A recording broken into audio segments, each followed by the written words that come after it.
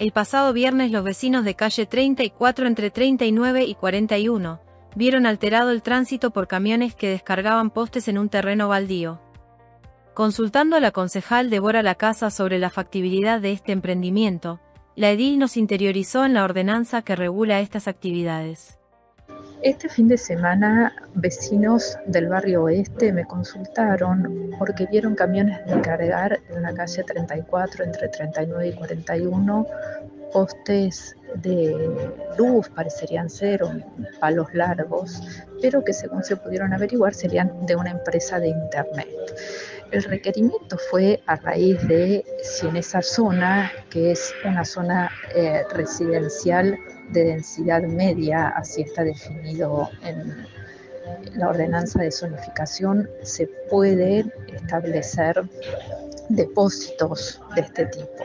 Bueno, eh, yo estuve averiguando, este, por supuesto remitiéndome a la ordenanza de zonificación, y efectivamente en esta zona puede haber depósitos, pero eh, siempre teniendo en cuenta que sigan este, las ordenanzas vigentes sobre lo que tenga que ver con ruidos molestos y que el depósito no cuente con ningún grado de peligrosidad.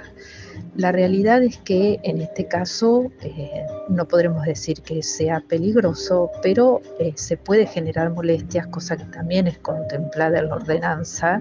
eh, y que estas molestias sean absorbidas dentro del límite de la parcela. ¿Cuáles son el tipo de molestias que podrían llegar a sobrevenir? Bueno, la acumulación de,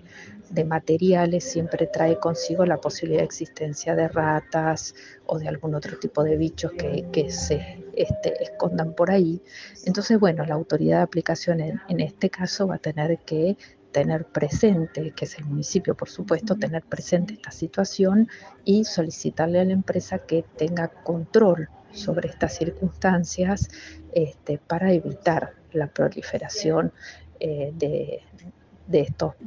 animales, digamos, o de la posibilidad de que se dé este, la proliferación de, estos bichitos. Así que bueno, este,